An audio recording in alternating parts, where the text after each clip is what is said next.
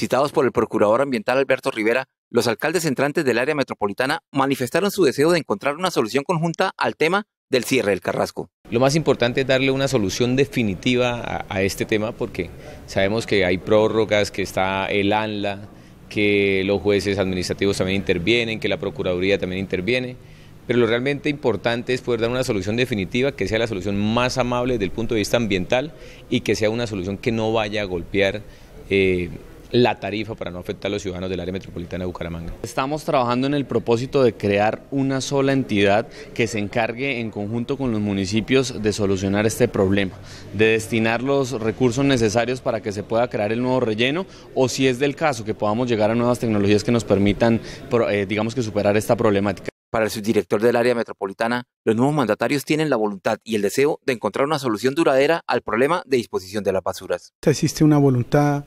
eh, abierta por parte de los municipios de darle solución definitiva al problema de la disposición final de residuos en el área metropolitana de Bucaramanga. Sin embargo, el gerente de la MAT, Pedro José Salazar, le solicitó a los alcaldes que cumplan con los compromisos adquiridos por sus antecesores en materia de recursos para poder usar el relleno por unos meses más. Debo mencionar que Bucaramanga ha sido muy juicioso y muy riguroso en el cumplimiento de este compromiso, no así los demás municipios en este momento, pues desafortunadamente los alcaldes salientes de Girón, Florida Blanca, especialmente no cumplieron con el requisito, eh, Florida Blanca debía eh, aportar 1.800 millones, suscribió un convenio por 900, luego un adicional por 400, pero ha girado a fecha de hoy cero pesos. Se está haciendo una revisión jurídica de los recursos que deben girarse a la empresa municipal de aseo de Bucaramanga y también sobre las órdenes judiciales que existen respecto de la suscripción de un convenio para realizar obras en el Carrasco. Hoy existe una dificultad para ese traslado, no de los recursos del convenio pasado, sino para la suscripción del nuevo convenio que parte de la base de que el municipio no puede capitalizar a la EMAF, siendo que esta es una entidad en la cual el municipio no tiene participación. El próximo martes, los alcaldes y sus delegados